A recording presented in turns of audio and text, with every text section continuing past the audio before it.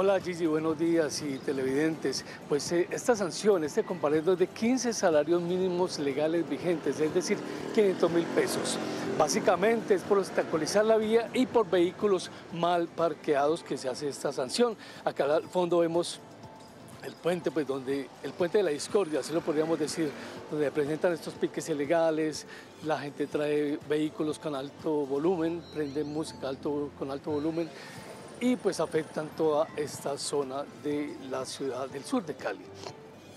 Otros lugares donde también se hacen piques ilegales es la avenida Cañas Gordas y el kilómetro 18.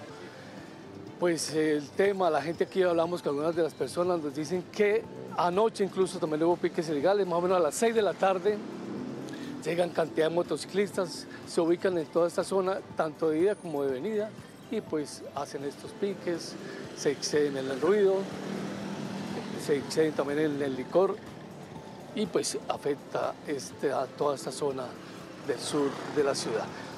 Al respecto nos habló William Bermúdez, autoridad de tránsito número 01 de la Secretaría de Movilidad de Cali.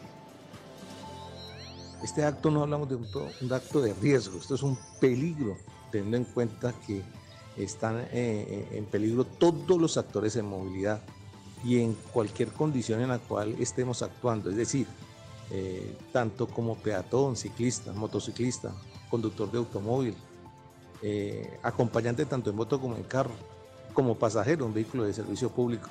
Una persona que hace este acto de verdad pone en peligro, repito, a toda la ciudadanía hay que tener en cuenta que esto lo hacen de una manera turbulenta, eh, a oscuras, eh, tratan de hacerlo en lugares solitarios.